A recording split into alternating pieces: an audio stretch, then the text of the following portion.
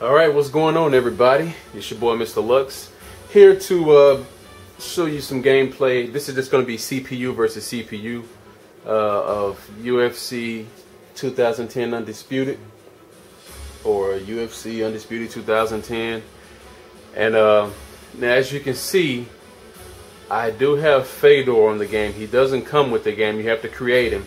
And before anybody posts comments, I know his first and last name are not spelled exactly like, like it's supposed to be. The only reason for that is because THQ, uh, they have um, some preloaded names in the game that uh, the ring announcer, uh, Bruce Buffer, would say. And um, and I guess in order for them not to get any kind of um, you know copyright or anything like that, uh, they didn't spell Fedor the correct way, nor did they spell Ilya Emelianenko, or however you pronounce it, uh, the correct way as well. But um, through a website called MMA hyphen, well, it's like MMA-CAF.com. Uh, it's a website where people they post their uh, creative fighters. Uh, so far, since the game just came out yesterday, so far there's uh, there's still a lot of fighters that are work in progress, but um, so far they have King, Mo, Lawal, Crazy Horse, excuse me, Crazy Horse, uh, Alistair and uh, Fedor. So these are the fighters that they so far are working on to try to uh, you know have them available. Um, it sucks on the um, creative fighter mode because you they give you very limited uh, uh, totals for to you know do your own stats and stuff. So you know Amelia Amelia whatever his name is Fedor he he doesn't have the all the stats that he should have being the, the good fighter that he is. But the you know I gave him the best that I could give him for each different category. So let's do a title match between him and Shane Carwin and, and see how it goes.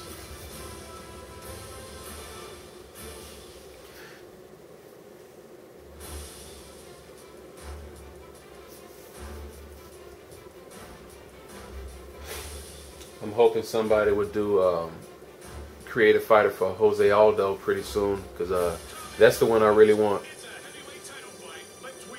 But as you can see, it's a, it's a, I mean, for this to be a work in progress Fedor, it, it looks really good.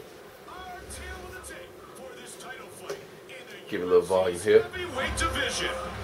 And now, with the official introductions, the veteran voice of the Octagon, here is Bruce Buffer. And now, five rounds for the UFC Heavyweight Championship of the World. Introducing first, the challenger, fighting out of the blue corner. Looks really good. is a boxer and a street fighter. He stands six feet tall, weighing in at 240 pounds. Fighting out of St. Petersburg, Russia. Theodore,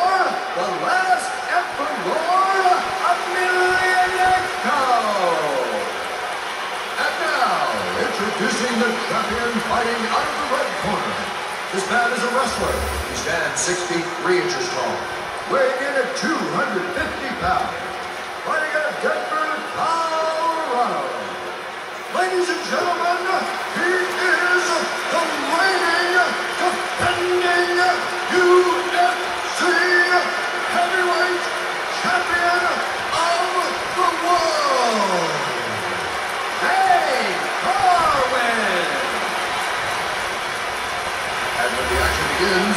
referee in charge of this contest is Herb Dean.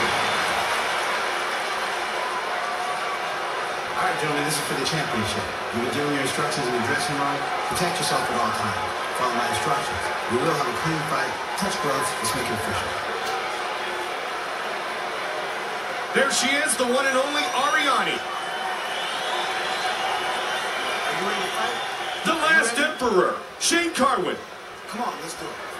And here we go. Joe, if there were ever any doubters to Shane Carwin's championship abilities, he silenced the critics in his fight against Gabriel Gonzaga.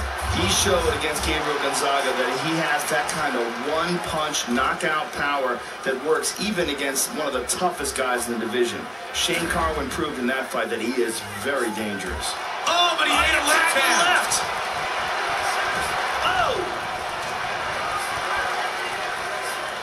Got keep those hands up. He's hurt badly. He's down. Dives into the full guard. Half guard.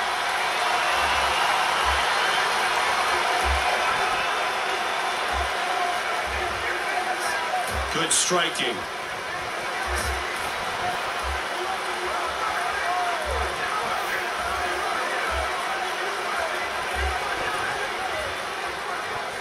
Under three minutes now. Oh, he's cut. It's starting to bleed. He's back to his feet, but he's hurt. He's got double underhooks here. Well over two minutes remains in round number one. Drop down for a double. Oh, he's down. Working hard to try to get out of this bad spot. All right, so they're back on their feet. Two minutes remain. Oh, beautiful hook. It mm. is over. One punch. He waited for the opportunity for the perfect counter. And good night. Knockout victory. Shane Carwin with the victory. Let's take a look at that again. Look at the timing in this hook, Mike.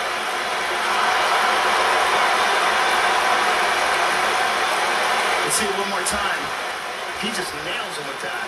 That's a high Well, that was an impressive knockout. So I don't know if it's you know with the lack of uh, stats that we can give creative fighters, uh, if that you know made this fight end so quickly. Um, maybe it would have been better if I was playing as Fedor, uh, but who knows? And this was set on advanced difficulty for the AI just to kind of see if they would play a little more natural. But knockouts happen quite uh, frequently on this year's game. I don't know if they'll tweak that or not. I know last year's game was kind of like that with the flash KOs. Um, but I mean, the game is still awesome. I haven't really got too deep into the career mode, but what I have tried out so far, I, I like it. So uh, be on the lookout for some videos on that in the future. But uh, that was UFC Undisputed 2010, uh, my first created wrestler, which I got off MMA-CAF.com, and that which was Fedor Emelianenko. Thanks.